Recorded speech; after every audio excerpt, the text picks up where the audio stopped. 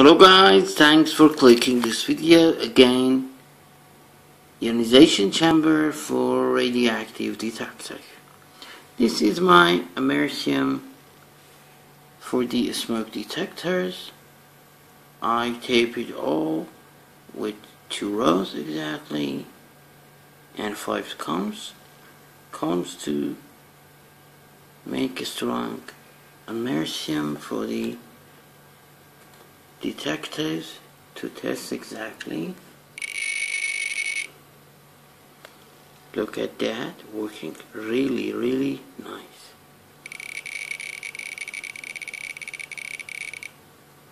I will turn on the room chamber to know exactly what is inside the can. It is a metal can. This one is something like foam. And here is the plastic tape. Nothing else. I have one photodiode backside of this ion chamber.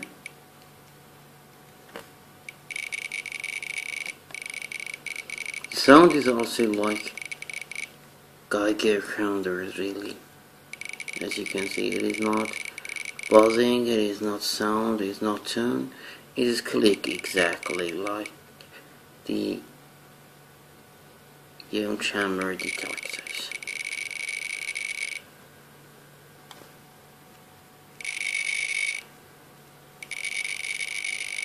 I have also one LED over there.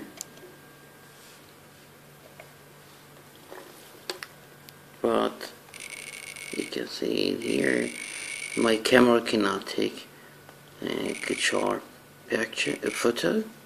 This is the reason that you cannot see the blink. So I'm going to turn off the LED.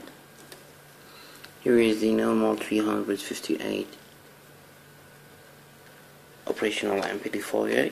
One more time I will test and then open the chamber.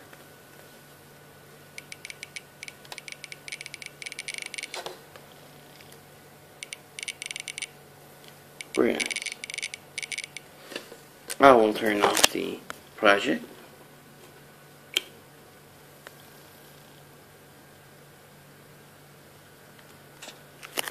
Nice. I will take the uh, room chamber audio chamber cover like that. It's the normal, regular normal foam with the tape and here is my photo multiplier I wanted you can see this is my ion chamber to detect radiation. It is exactly super simple to make at home. As you can see operational amplifier will loop between first channel and second channel then the photomultiplier will make conductive mode enough and the buzzer will make some click to know exactly radiation source gonna be close to the chamber. Thanks for watching uh, hope to make this project and test the result and let me know then. Thank you very much and goodbye